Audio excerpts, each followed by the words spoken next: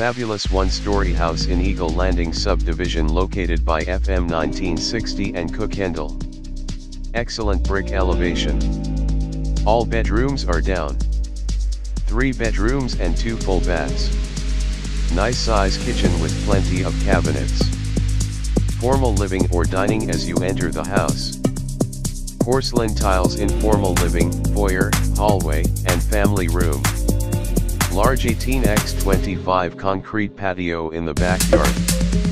Open floor plan with plenty of natural light. Fireplace in the family room. Great floor plan for a family with young kids. Minutes away from I-45, in Turcotte Airport, Grand Parkway slash 99, Beltway 8 and the Woodlands.